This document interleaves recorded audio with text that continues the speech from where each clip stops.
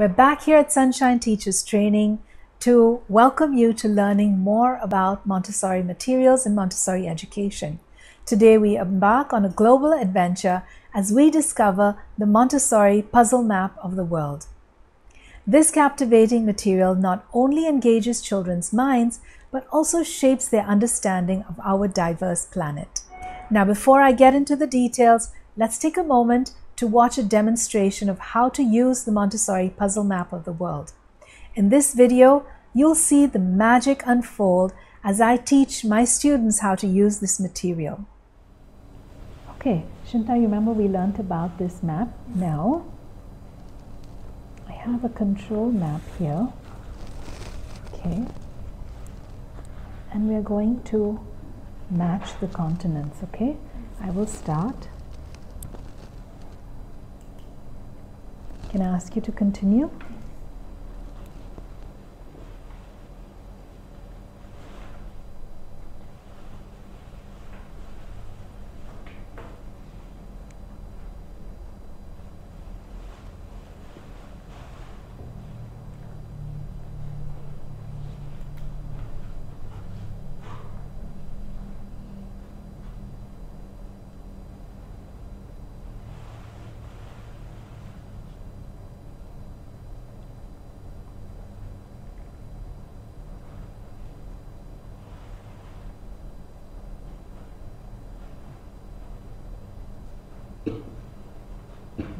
Okay, now Shinta, we want to replace the continents back into the puzzle. I will start. Can I ask you to continue?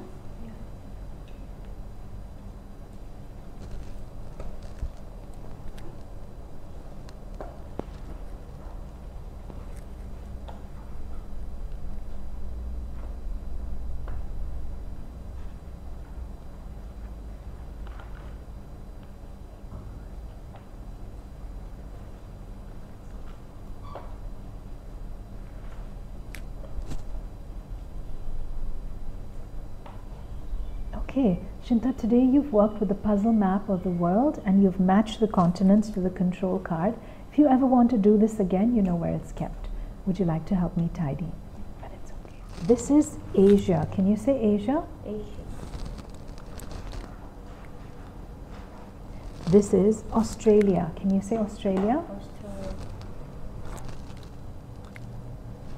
This is Africa. Can you say Africa? Africa.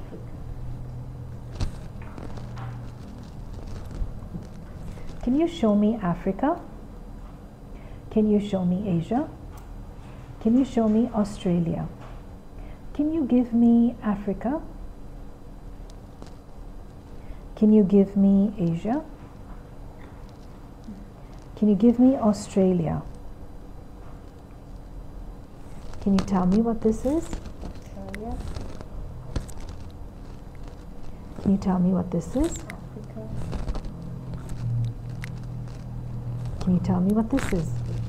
Okay, so today we have learned the names of three continents. We've learned. Africa, Asia, Australia. On another day, I'll teach you some more. Would you like to help me return the material? But it's okay, you can have a. So, uh, we start, of course, with three continents. The names are difficult. So, before we even get to this activity, we should be singing the continent songs, you know, choose some songs so that they get familiar with the words. They are not easy to say. All right? When we start teaching the 3PL, we must always start with our home continent, wherever we live.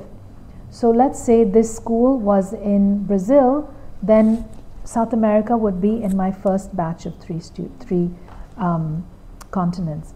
And then we have to see um, which, uh, you know, what the children might be familiar with.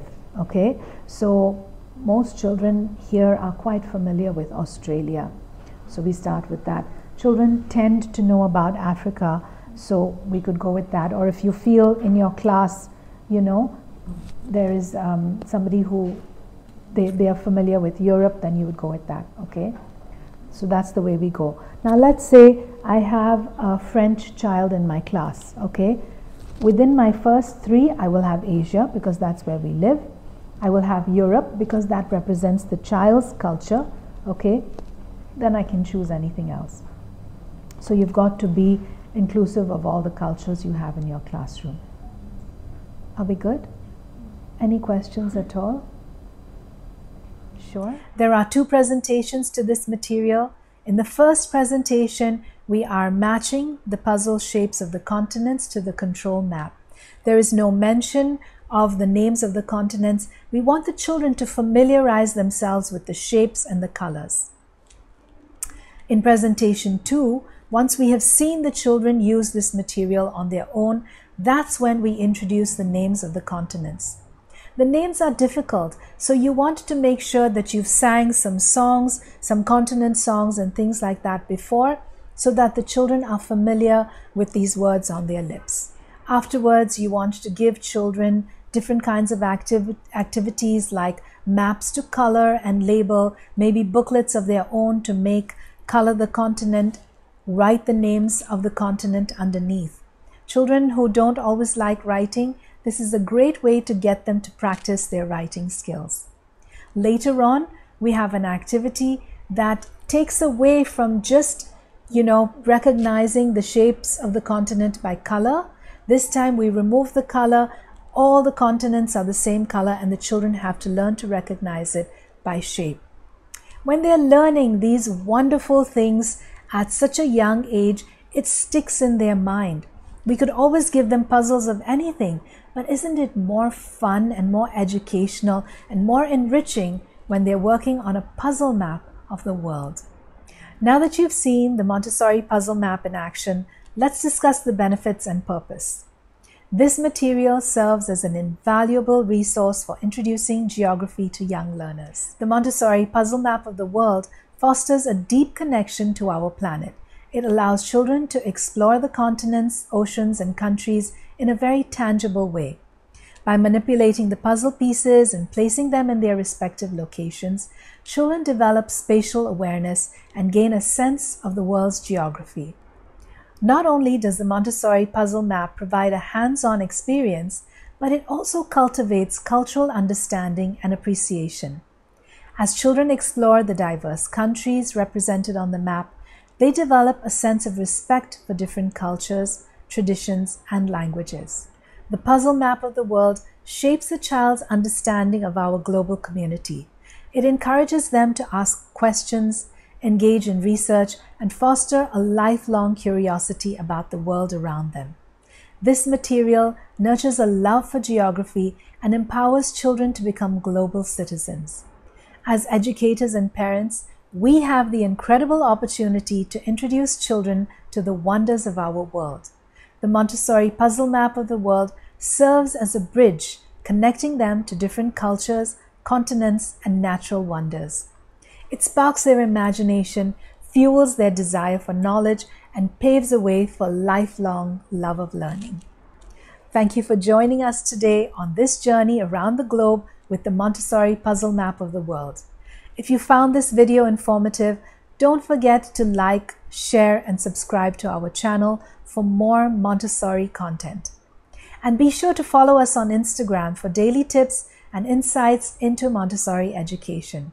Together, let's inspire and shape young minds. Until we meet again, have a beautiful day.